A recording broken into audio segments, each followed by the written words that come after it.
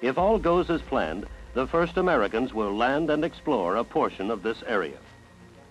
Astronauts Neil A. Armstrong, Edwin E. Aldrin, and Michael Collins, the three men who will make the next and most historic round trip to the moon. Quite a few people actually do um, ask a lot of questions about uh, the lunar landings and if they were real. The flag had a horizontal bar moving through the top of it. And that was to keep the flag open because there isn't any air on the moon that would open up the flag.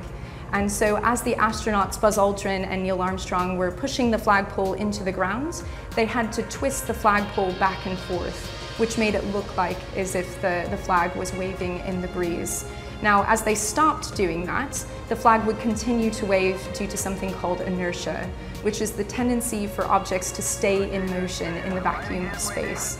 Now eventually the flag would stop waving because gravity's pulling down on it and so it would slow down and then stop waving altogether. The moon's surface is actually very bright um, so the dust on the moon is reflecting sunlight. And so when you use a camera, you have to use a shutter speed, which is kind of the length of time that the lens of the camera is open, so how long it's capturing light. You have to use a very short uh, shutter speed uh, when you're on the surface of the moon. And so the shutter speed is so short that it won't capture the faint light um, from the stars in the background. If you watch the video of Apollo 11 touching down on the moon, um, for a while, Apollo 11 was traveling horizontally, and so the thrusters weren't pointed downwards, and so it wouldn't have been kicking dust in, into the, well, kind of around on the surface of the moon.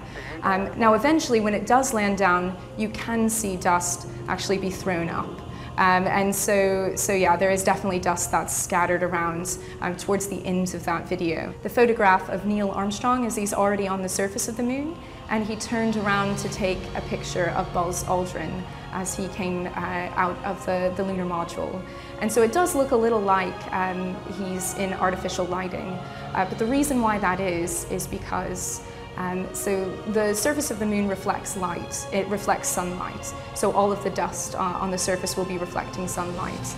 And that, so, so that just illuminates kind of the shadows of the moon. So Buzz Aldrin's kind of coming out of the lunar module um, in a shadow, but it's just the shadows illuminated by all of the sunlight that's reflecting uh, from the dust. I'll get that little piece of dandruff